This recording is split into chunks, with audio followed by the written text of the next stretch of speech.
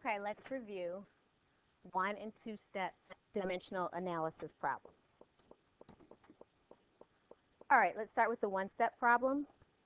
Kennedy walked 6.24 kilometers to raise money for prostate cancer research. So we want to know how many meters did she walk? So my question is how many meters? And we know we're starting with 6.24 kilometers. So I'll write 6.24 kilometers, multiplication dot, division line. Kilometers will go in the denominator because kilometers is up here in the numerator. And I want to go to meters. I know that one kilometer equals 1,000 meters. I'll now cross cancel like terms, kilometers, and I'll do my math. 6.24 times 1,000 meters 6,240 meters divided by 1. That equals my final answer, which is 6,240 meters.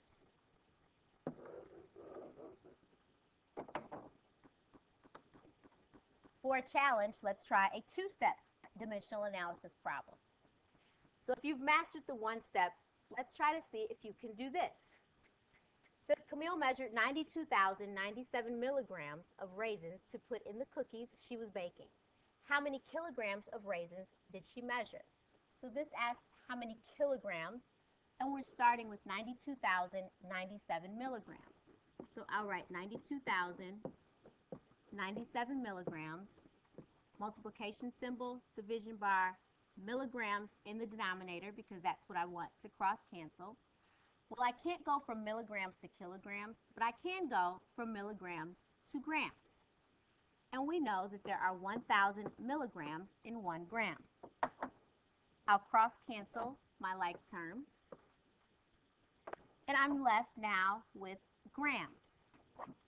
Well, I want to go to kilograms, so I'll put another multiplication dot, division bar, grams in the denominator, and I can go from grams to kilograms because I know that 1,000 grams equals 1 kilogram.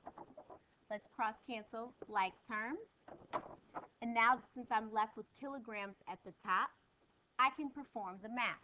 92,097 times 1 times 1 kilogram equals 92,097 kilograms over 1,000 times 1,000, which we know is 1 million. And that equals 0 0.0920097 kilograms. And that is the final answer.